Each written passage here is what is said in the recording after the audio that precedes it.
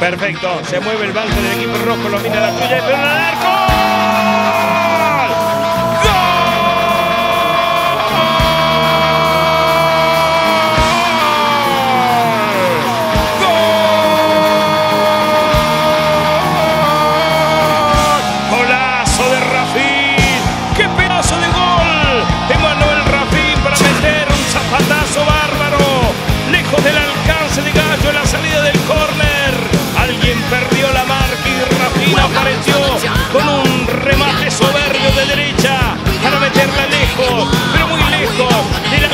De Quique Gallo para abrir la cuenta en el portero académico para poner adelante uno Racing 0, 31-32 de este primer tiempo se abre la cuenta.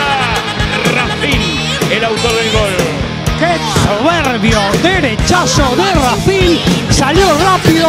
La primera duda que había tenido el fondo de Racing. Adelante lo facturó y con creces. Jugó rápido, hizo la gambeta lejos del alcance de un Quique Gallo tapado. Adelante, no necesita mucho dominar para marcar el primero. Gana 1 a 0 el rojo.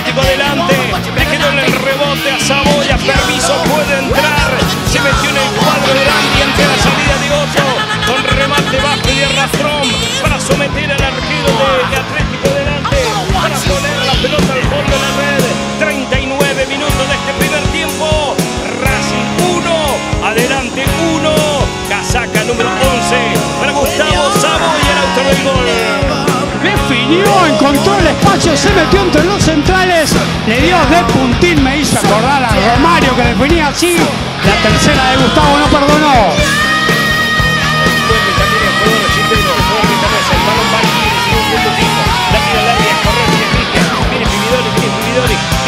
Penal, penal, penal, levantó la mano. ¿eh? Señor, penal de amarilla me parece para el jugador quiso tirar el sombrerito Cristian, el, el puso la mano el jugador de Racing. Hay penal aquí en el Fortín Académico.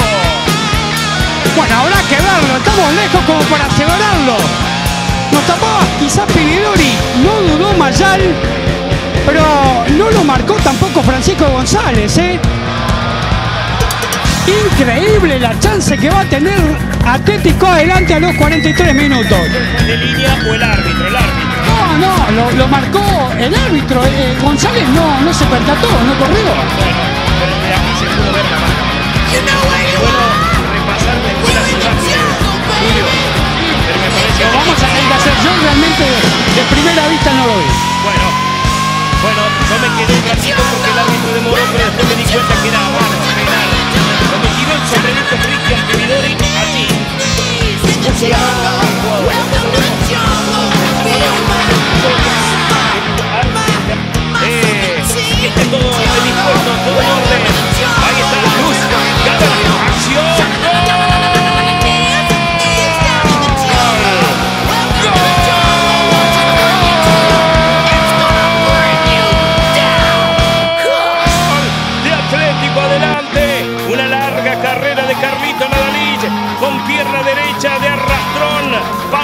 Del arquero. El balón buscó el palo izquierdo del guardián que fue al otro. Y en 44, casi 45 de este primer tiempo. Adelante 2. Racing 1. Carlos Nadalich, el autor del gol. Y no dudó el goleador, que participó poco del juego. Pero en esto tuvo frialdad, concentración, experiencia.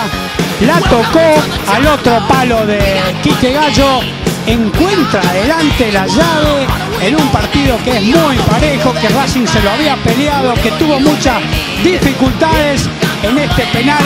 Puede irse al descanso ganando.